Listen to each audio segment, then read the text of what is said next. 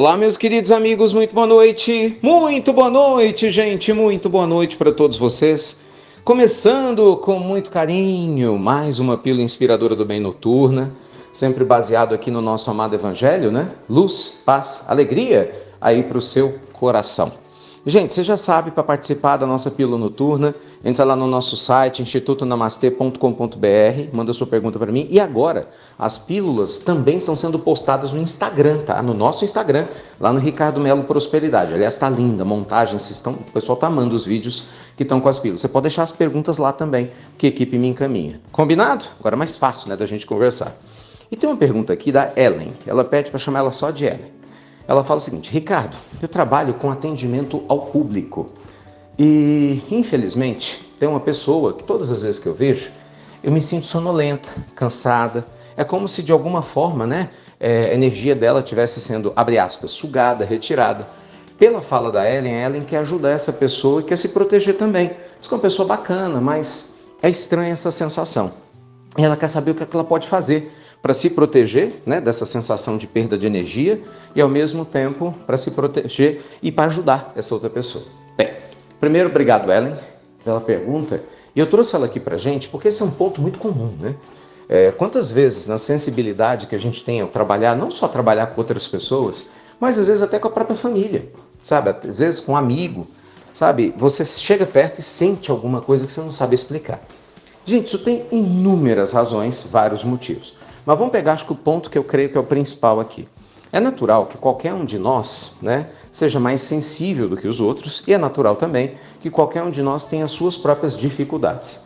Então, não necessariamente porque você sente energia pesada no outro, é o outro que está pesado, muitas vezes somos nós. Não necessariamente porque a gente boceja, né? Ou alguém diz que sente uma energia pesada em nós, não necessariamente somos nós, às vezes é o outro, mas muitas vezes é isso mesmo.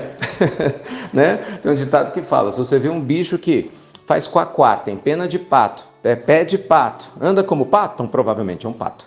Não adianta que não vai ser outra coisa. Então muitas vezes não, é a pessoa mesmo que tem uma dificuldade emocionalmente ou espiritualmente. E aí você, por ter mais sensibilidade, ao ela se aproximar de você, você sente. Bem, mas dito isso, independente da causa, acho que o mais importante é o que fazer, né? Que foi a pergunta que a Ellen fez. Tem várias coisas que você pode fazer. A primeira delas, você pode começar a trabalhar a sua autoblindagem. Como é que isso funciona? Você pode, antes de começar a trabalhar, ainda mais com a repartição pública, fazer uma meditação de 5 minutos. Gente, isso é tão poderoso.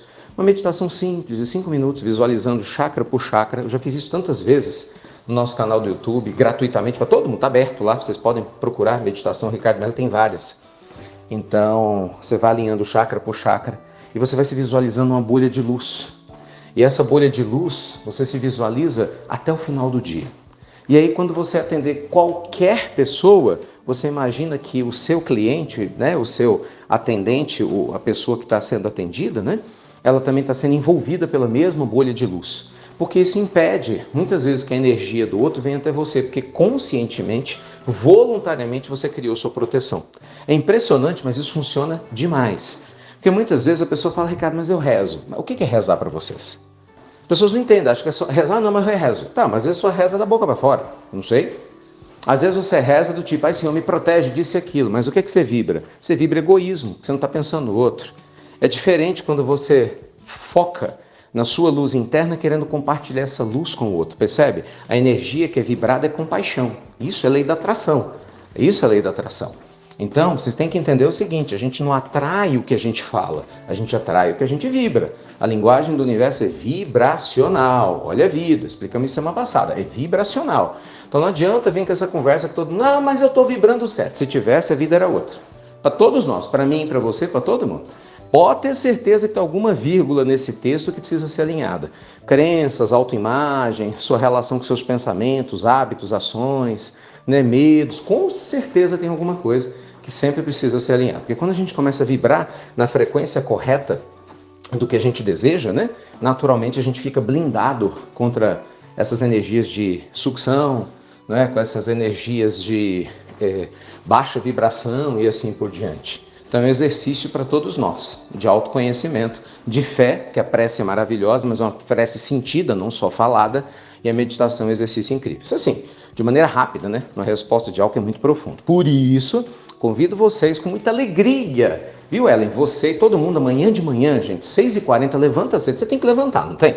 Provavelmente você tem Instagram. Liga ele, ou você tem YouTube, melhor ainda, no YouTube. Liga ele, 6h35, 6h40 eu entro. O que, que nós vamos fazer? Nós vamos estudar durante pelo menos aí uns 10 dias uma sequência enorme de temas ligados à prosperidade, à lei da atração. Vamos meditar juntos, vamos blindar você para o seu dia, para você começar muito bem o seu dia. Vai ser lindo te preparando para a nossa Semana da Vida Quântica. lembre, já se inscreveu para a semana? Começa dia 11 agora de março, hein? Onde nós vamos falar de cura e autocura. Gente, esse é um tema que você não pode ficar de fora. Todos nós precisamos nos alinhar quanticamente, né? Entender essas vibrações na cocriação da vida que a gente quer. O link da inscrição está no banner da pílula. Entra lá, porque lá no WhatsApp a gente vai te mandar uma série de presentes. Eu tenho certeza que vocês vão gostar além dos links para você acessar tudo que eu estou falando aqui. Combinado? Então é isso. Vamos lá. Espero vocês amanhã às 6h40. Obrigado a você que compartilha a pílula. E vamos construir, né, gente, com compaixão, com amor de dentro para fora, uma humanidade melhor para todos nós. Até breve. Até muito, muito breve.